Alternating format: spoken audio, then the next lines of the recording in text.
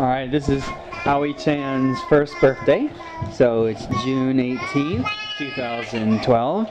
And she's got the little shoes on. She's putting her Japanese shoes on.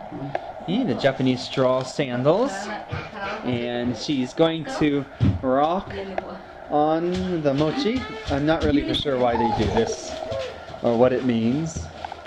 But here she goes. She's walking on the uh, mochi.